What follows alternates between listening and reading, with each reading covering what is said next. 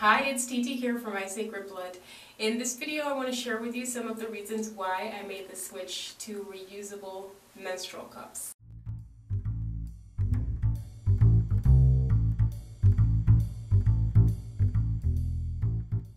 So I have mentioned before in previous videos that my go-to product for menstrual care is sea sponges. And I still do use them. I still do use the reusable pads as well.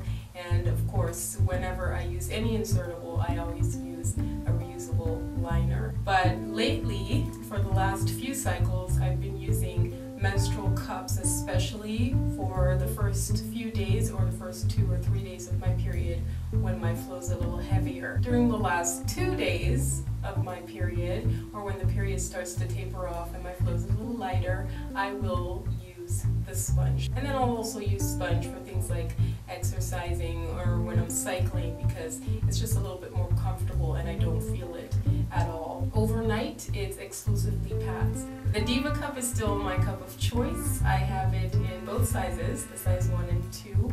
I had the size 2 first because I have been pregnant, I have had a child, but then I got the size 1 because I found that size 2 was are some of the reasons why I switched to menstrual cups. First, it really does take between 8 to 12 hours till the cup is filled to capacity. Second, I don't have to worry about carrying around a wet bag full of used pads. And third, and this is in the case of sponges, I don't have to exit the bathroom stall when I'm out in public to secretly rinse the sponge and then re enter the stall to reinsert. And then, of course, I don't have to be on the lookout for people who might be entering and exiting the public bathroom. Which brings me to the main reason why I switched to using the reusable cup, and that is using the cup in a public restroom is easy as one, two, three.